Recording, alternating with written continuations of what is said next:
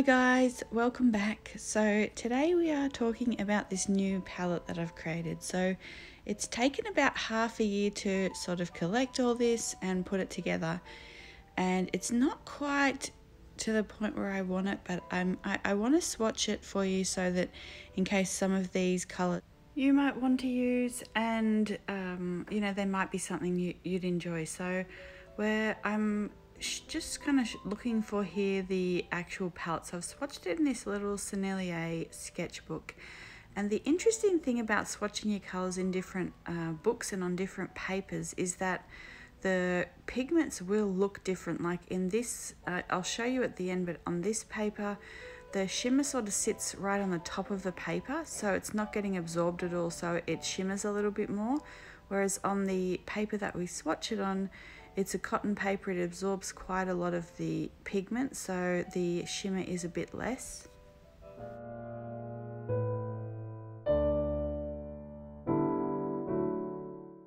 So at first I was thinking of swatching it in this book. So this is a, a little project we're going to do probably in two or three weeks on the channel. So it's creating a sketchbook out of one sheet of cotton paper. So you know, one large sheet of Arches or Saunders Waterford, something from the art shop.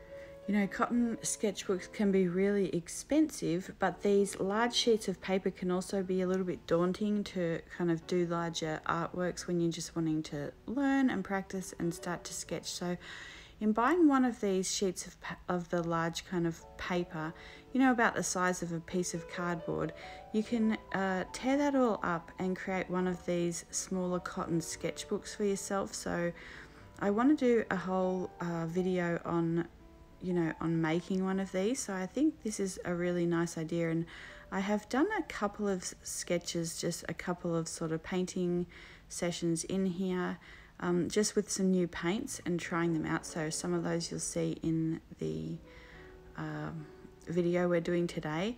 But uh, yeah, we don't end up using that sketchbook.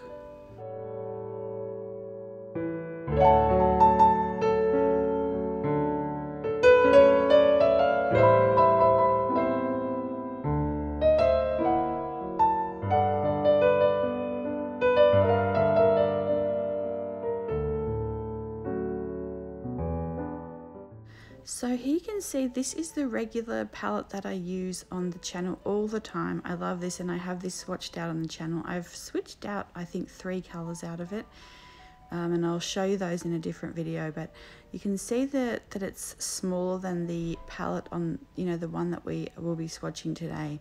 So normally I have these two palettes. The one on the left is my regular palette. The one on the right is like my shimmer kind of a supplementary palette but I was feeling like I was missing some um, so some colors so what I've done here is the one on the left now is like a painting palette. The one on the right is a little supplementary palette uh, that I can you you know pull out if I'm using the other smaller palette as well.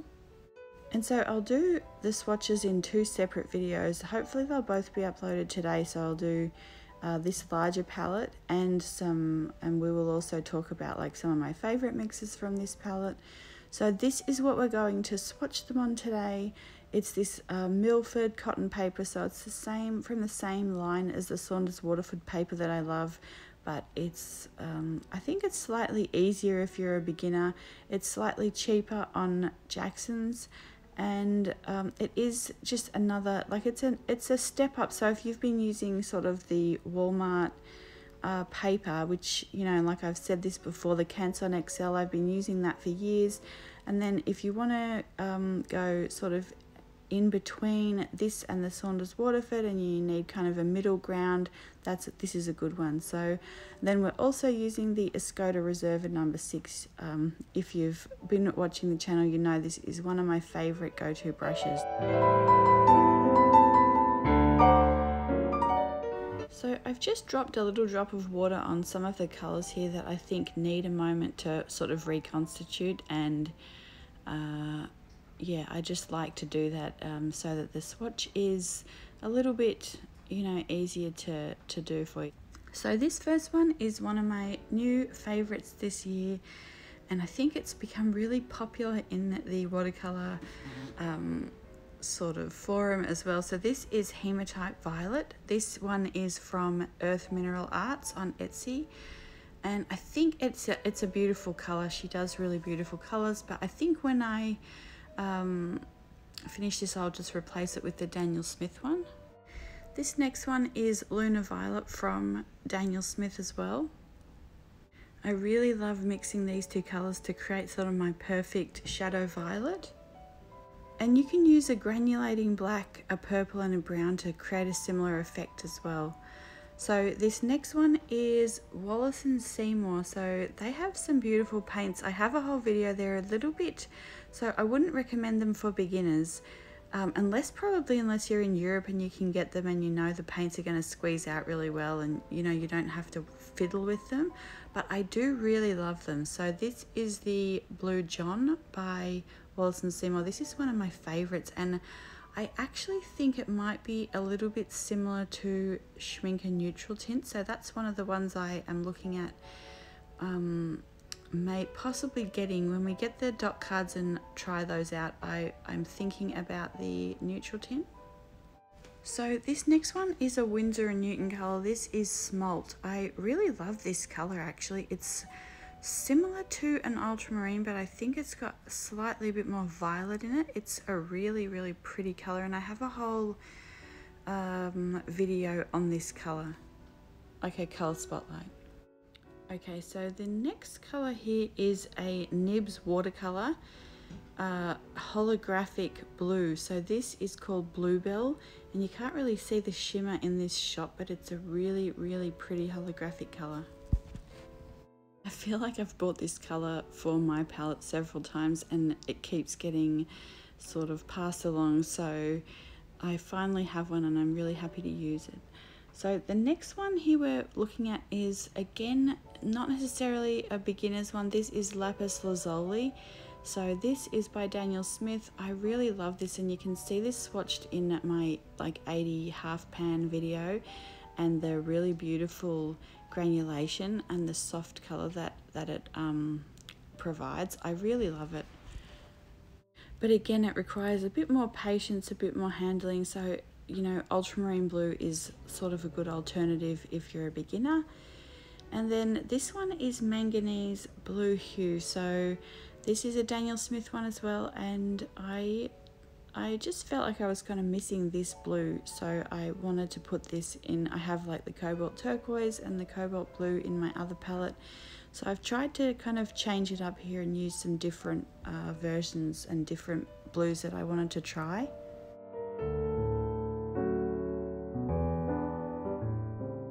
So again this is a Wallace Seymour colour this is the Sasso Rosso. So when you swatch it out, it has some granules in it, like actual, I'm not sure if you can see them here, but they're actual granules uh, in the pigment. I really love watercolors like that. So you get a little bit of texture, you get something extra and something special on the page. But like I said, um, I wouldn't have even really known how to use these six years ago when I started. So you don't necessarily have to have them if you're just, you know, starting out with watercolor. So this next one is another beauty and this is Daniel Smith Tiger's Eye. So we did a, I did this in the Potter, I sort of highlighted this in the Potter's Pink uh, color spotlight and I think quite a few of you got it. So it's a really beautiful one. They were having a sale as well. Um, at Michael's on the Daniel Smiths, which I didn't even know they carry. But uh, this next one here is a Nibs watercolor. So this is Germaine. And again, it's a holographic purple. It's a really pretty one.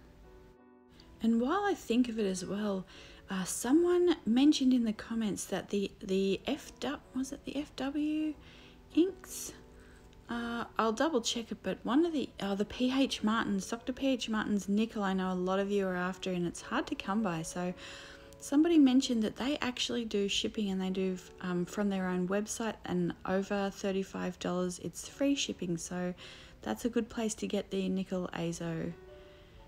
Um, sorry, just the nickel ink on my 2020 favorites video. So that was the one that we just watched was Winsor & Newton Cobalt Violet. Just an all-round beautiful colour and easy to re-wet.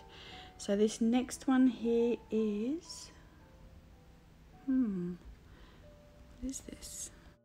So this next one is one I've wanted to put in my palette for a while. So this is a pre-mix of Sugilite by Daniel Smith and Pearl White by Daniel Smith. So um, I have just squeezed a little bit of each into the half pan and mixed them. And there you can see it there. It's this really gorgeous color. So I love using these for soft shadows. And I actually just love having that color in my palette. It's just a really inspiring and pretty color to look at. So this next one is the Turner Artist Watercolor Pale Wisteria. So I got this off Jerry's Artarama. I like the fact of these ones that they are cheaper. Um, however, I think this is a little bit hard to re-wet so but I really do love using it in mixes and everything so it just depends whether or not you want something easier to re-wet or you want to work or you're happy to work with it a little bit. This next one is one of my absolute favorites from Nibs Watercolors. This is Katya and it's this gorgeous sort of taupe color with a holographic sparkle. Again, I don't think I can even capture these holographic ones on camera. They're really gorgeous. So this one is a freebie actually that Colours of the Iron range sent with my order. So this is green umber and I think that I'll actually be re like buying this once I run out so this is a really nice one and I absolutely love their shop so if you are a beginner and you are you know thinking about handmade paints but you're not sure where to start. Colors of the iron range and nibs watercolors are both really beautiful shops. Uh, you one is more the colors of the iron range is more earthy and the nibs watercolors has more sparkle colors and then this is one of my favorite shops as well. This is from rivervale watercolor on etsy. It's the first handmade watercolors i ever got. She's really lovely and um, this is the color verdigris verdigris I will put all these colors and shops underneath the video as well so you can browse through some you'll find on my 2020 favorites video as well or on my blog post about, you know, my favorite things. So this is Sennelier Emerald Green and it's a beautiful color. I, I feel like though, um, and then we have, I think, and then we have the Iridescent Jade by Daniel Smith. I've always wanted to try this, but I actually, I think I might pass this one along. I'm not sure. I feel like I really might want to go back to green gold. I feel like it, it's sort of missing in this palette. So with the emerald and the iridescent jade, I might be switching those out for fuchsite and um, green gold. So this one here is a beautiful color as well. This is Lichen and Sage by Earth Mineral Arts. And it's a similar color as well to the Wallace and Seymour it's something like Cumbria Horton Pale Green, something. It's quite a long name, but it's got the pale in there, and I'll, I'll, I'll look it up for you. But um, yeah, it's a really beautiful uh, green. And then this is one of my new absolute favorites. So this is Daniel Smith Lapis Sunlight. I really, really love this color, and I'll show you in some uh, mixes after we've swatched this that if you mix this with some of the colors, so this is why I love their interference colors and the duochromes because you can mix them with other colors to create some of the, the other colors they offer. So for example, this one here is duochrome aquamarine and if you mix the interference blue with a sort of a green or you mix this lapis sunlight with a green you will also get a similar color to that so we will so then you, you you know it's more versatile to buy them in the interference and then you can mix them with all your other colors and create beautiful colors so the one I just swatched is the Sleeping Beauty Turquoise by Daniel Smith. I really love this color and I love the fact that you can paint with these actual mineral rocks, like the semi precious gemstones, it makes everything so special. So I really, really love it. Last year on Amazon, that was down to a $12 just before Christmas as well. So you want to just keep an eye on, on those more expensive ones. And then this one here is Nibs Watercolor Sylvia, so it's a holographic silver. It's actually how I found her shop and it's a really gorgeous one. Again, they're not shimmering very well on camera here, but they're, they're so sparkly and beautiful in person. This is one we haven't talked about much on the channel before. This is uh, Daniel Smith Yellow Iron Oxide. And I was tossing up between this one and the Italian Deep Ochre. Uh, but I ended up with this one because of the granulation. So I'll show you a few different mixes with it at the end. So when you mix this with other granulating colours, it's spectacular. So this one is the Turner uh, Artist Watercolour Bronze. This is also a beautiful one, but again, I might move this to a different palette, I'm not sure. And then we have the Shell Harp Light by Earth Mineral Arts. So I'll show you some comparisons of this again at the end. I really, really, um, I really love the French clay that I have by um, Rivervale Watercolor. I wish she would make more of that. It's a really gorgeous one. It's one I would actually put in here if I had another pan of it, so or if I could get it more easily. I'm too scared to use it and not be able to um, have it. So this is the Turner Artist Watercolor Grey Gold. I really like their uh, shimmer, like their iridescent colours and their shimmers. They do re-wet quite easily and they are pretty similar to the Daniel Smith ones. So I think that I kind of compare those in my other palette video, which I'll link below as well. This one has already left the palette, so this is a Holbein Jambry number one. So I had a little bit left in a tube and I thought I would try it, but yeah, I've already replaced it with the Wallace and Seymour Cinabrese, which we will swatch in the next little palette. Um, but yeah, I, I thought that you guys might want to see the colour anyway, so it might be something you're interested in. You'll see the Cinabrese in the video at the beginning of this video, like the little bits of footage, you that's the one that's in the palette. So then the next one after that was the Daniel Smith Iridescent Copper. I really loved this one. And then we have the, this is the Schmincke silver. So it is pretty similar to the uh, Pearl White by Daniel Smith. You can see here the white that I use and the reason I use this white is because it's so opaque but it's so easy to re-wet. So um, this is the Grumbacher Titanium White. I absolutely love it. I've tried a couple of other whites and they're just not easy to re-wet like this. So when I want to use a white, I just I want it to be very simple and kind of, um, you know, I don't want to struggle with the white. I just quickly want to use a little bit of white and mix it in and it's such a good one to use. I actually only have a few Grumbacher products, but I really love their products. So, um, Okay, this next one is another pre-mix. So this is Potter's Pink. It's the Winsor & Newton Potter's Pink and Daniel Smith Pearl White. So again, I squeezed a little bit of each into the half pan and then I've mixed it in there. And this is just another one. This is one of my favorite colors and I wanted to have a pre-mix of this. And you can see here the way I'm doing the swatches. So I put some color on, I dip it in water once and then kind of pull the colour out with the water and then I'll go back in and drop more colour in on the left side there. So I like doing it this way because you can kind of see the possibilities within the colour and also the different colours. You can get a very soft side of the colour and a deeper side of the colour.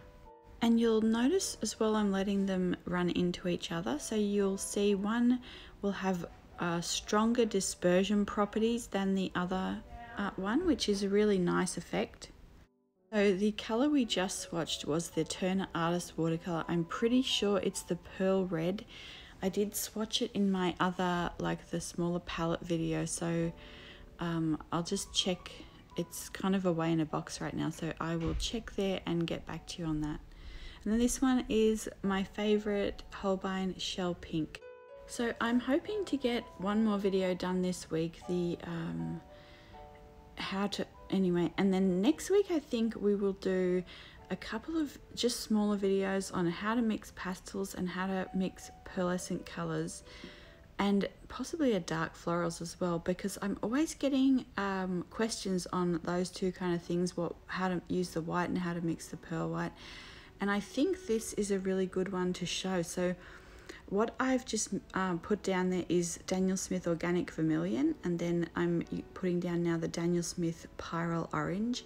And if you have either of these two colors so I think they're available in the 5 mil tubes and then you have a white you can basically mix a shell pink from that. So you don't necessarily have to go out and get these other colors so um, I like the shell pink. I've already gone through like two tubes of it so it's very easy for me. I use it quite a lot so I just squeeze it out and I'm already you know and I, I can just use that often. But um, you are able to mix a similar color with the with either of those two other oranges and a white or you know any orange you have in a white. So the next one that I put there is the Schmincke Lemon Yellow. It's my favorite yellow um, I've tried I actually just took the Nickel Azo out of my other palette and replaced it with Potter's Pink because I just never used it I always mix the lemon yellow with um, a brown to, to make the color I want so generally like French ochre or you know an ochre so this one here is the Daniel Smith Permanent Rose Madder. Uh, I got this one, I have Rhodonite in the other palette. I am not really fussed with this one. Uh, I think a lot of brands do a similar colour, so I don't really have a preference. And then this one here is, I think this is the Daniel Smith Opera Rose, and again, I don't really have a preference. I think a lot of brands do this colour, and it's all fairly similar and really nice.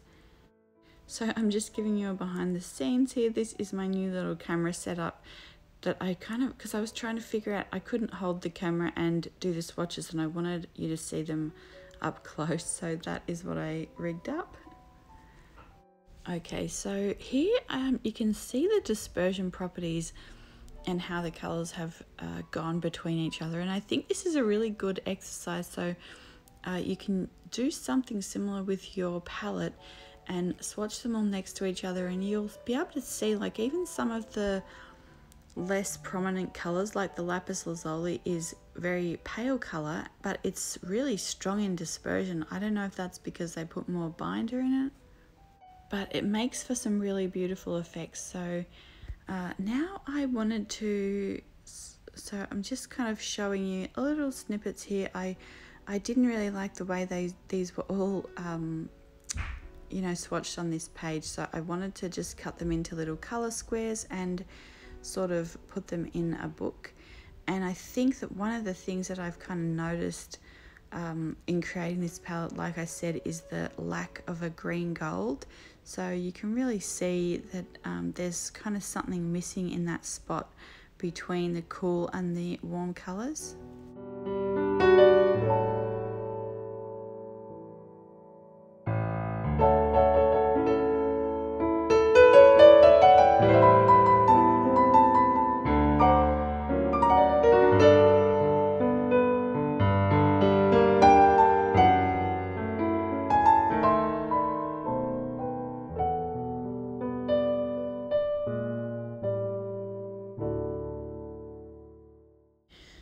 This isn't really an autumn palette. Uh, I really love the idea of creating an autumn palette like Irrit's.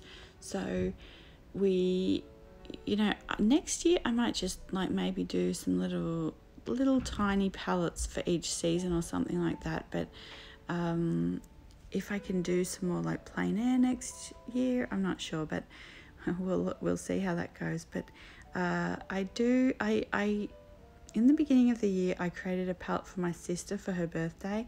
And then while I was sort of gathering that and I was just using my regular palette, I felt like there were some colors missing that I'd like to use. So I started sort of gathering and creating this palette.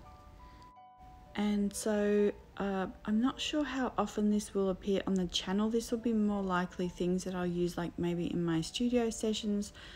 Um, so we'll see it's it's also hard to get on the screen. It's quite a large palette, so but also I forgot to mention this is from Amazon. So this is if you look up enamel palettes, there's quite a few options I usually I really like the whiskey painters ones Eric just got a beautiful uh, Schmincke one but this one's only $20 on Amazon so I don't know if it's as sturdy as the actual whiskey painters or the Schmincke ones but you know for the price it's quite a good palette I really I really would like to get the My Merry Blue. There's a silver one on Jackson's. I linked it in the 2020 favorites. I just think like part of what I enjoy about uh, doing the videos is kind of creating a set and um, creating nice, you know, things to look at. And so I think it would be nice for the channel. So anyway, we'll see about that. I also wanted to say thank you for um, using the affiliate links, for supporting the Etsy shop. They have helped me to get a few more things uh, for the channel and things that we can look at. And thank you also just for the again the support, the comments. I I I so much appreciate the conversations that we have and for you guys sharing you know if you find any links or anything like that like i really enjoyed finding the um, that one of you had found where we can get the nickel ink. So the, um, you know, that's that's just really good because I've been so worried about how do I replace that. And I know that a lot of you really liked the nickel ink as well, so I wanted to mention that on here so that you can find that on the Dr. PH Martin's website, um, you know, and free shipping over $35. Okay, so let's see here. We're going to do a few of my favorite mixes, and one that I'm going to show you is this uh, the yellow iron oxide and the cobalt violet. I really, really love this mix. Okay, let's see what the next mix is. So this next mix is the smalt and the potter's pink and pearl. So I absolutely love this. So if you have smalt and potter's pink, as well. That is a beautiful mix. And then with the added pearl white, I really love the sort of soft shimmer that it gives. Again, on this paper, it they don't sparkle as much because you know the paper, the cotton paper is kind of absorbing some of that pigment, which you know is a is something you might like. So you get more of an understated sparkle. So this is the Hematite Violet and Lunar Violet mix. Again, like you can mix Mars Black with, uh, you know, a dark brown and a violet and you'll get a similar um, color. But I really love it as like, that's kind of replaced my Shadow Violet mix, which I really love the Daniel Smith Shadow Violet. But sometimes, I think I've showed it before, but sometimes the blue that settles out of it doesn't necessarily match the color palette in my paintings. So I've you know I I love having this mix so I know exactly what color I'm going to get. So what I'm doing here is I'm mixing the lapis sunlight with first the uh, Sennelier emerald green then with the manganese blue uh, so I'm trying to get a similar color to the duochrome aquamarine. So that's the duochrome aquamarine that I just uh, swatched. And I think it's actually more like the interference blue with a um, maybe a viridian or with a cobalt turquoise something like that. Uh, it's a really beautiful one but um like you can mix it if you have one of these interference colors so and then I think I mixed it with the viridian and I got uh, closer to the duochrome aquamarine now I'm mixing the bronze with pale wisteria and you get quite a pretty sort of, it's sort of a peachy colour as well there. Sort of a soft brown towards a peachy, uh, you know, an ochre with a little bit of a softer undertone. And then I'm mixing the smalt with the yellow iron ochre and you get this really gorgeous sort of taupe colour. I really love this colour. I think next I tried the manganese with the opera rose. So I always like trying to figure out different ways to mix a similar color to cobalt violet.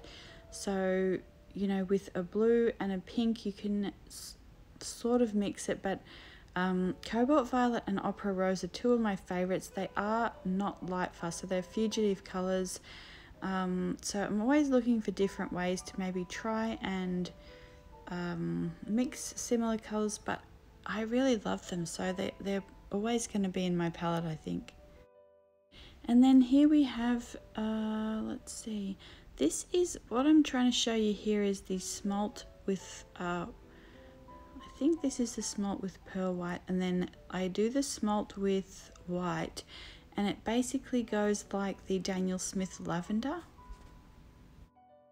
And then similarly, if you mix the cobalt violet with white, you will get something like the Daniel Smith wisteria as well. So again, we'll, we'll go over these in the how to create pastels video, but uh, you know, a lot of these pastel colors you can create with a white, you know, um, so you don't, you know, but they are really nice to have as convenience mixes and um, if you're using them a lot, like I use the shell pink a lot, it's really nice to have that and you know to have that available and pre-mixed. But you know you don't have to worry you can mix your own as well. So the last two that I'm going to mix here is the hematite violet with the so I think I first mixed the lunar violet with the pale wisteria and the hematite violet with the pale wisteria so you can mix, you know, either of these with a purple and a white to get a similar thing as well, but they turn into really pretty colors. So I know this video is a long one. I hope you guys are still with me, but um, I wanted to kind of just take my time and make a nice long video for you. I know it's been, you know, I, I, I apologize. I wanted to get this video up I always strive for Tuesdays, but and then I think, okay, well, I'll get it up Thursday, and yeah, today's Friday, so I apologize for that. Um, this is the sort of so something I want to do next year is my monthly favorite mixes because I find that every month I am using different colors and finding different mixes. Um, and yeah, so that's something I want to introduce. You can see here what I was mentioning about like this paper is way more sparkly. It picks up the, uh, you know, sparkle a lot more because it's not being absorbed into the paper at all. So this is uh, where I kind of started or, you know, swatching the palettes. But what I, I think what I'm showing you here is just some of where I first kind of started um, looking at some of these color mixes and they're so beautiful. So this is just on the Canson XL paper and you can see because it's a cellulose paper, the pigment, so like wood pulp paper, the pigment's sitting on top and um, it's just doing some really nice things. This is the granulation in the yellow iron oxide and then mixing it with the cobalt violet.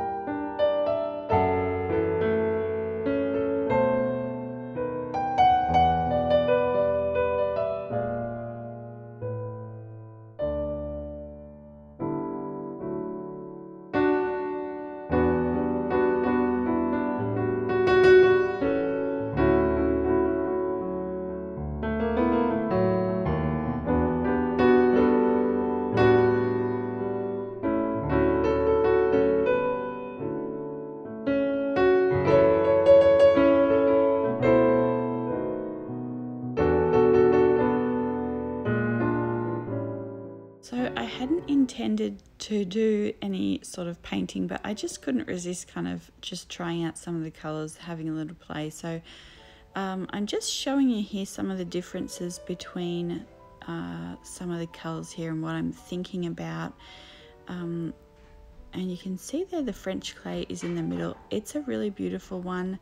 I hope one day Rivervale Watercolours does remake that because it's a really pretty one and then you can see on the top there the fuchsites in the middle there and although the emerald is a little bit brighter I just really love the fuchsia. I love the subtle sort of shimmer in it. You can also see the difference here between the Italian deep ochre and the yellow iron oxide. And then the tiger's eye is on the end in this one as well. And then this is the smalt the cobalt um, blues in the middle, and then the lapis lazuli. And here's the palette with the Cinabrese, not the Jaune Brilliant number one. And I think that is everything. So I will go and do the voiceover now for the little palette. And the next video is going to be hopefully uh, a pretty one uh, um, with sort of some tips on how to not overwork paintings. Next week we'll work on how to create pastels, how to create pearlescent colors, and then we will do a dark florals I think. So I hope you're doing well and as always leave any you know comments or questions down below and I will get back to you when I can and um, yeah have a good weekend guys. I will see you in my next video. Bye.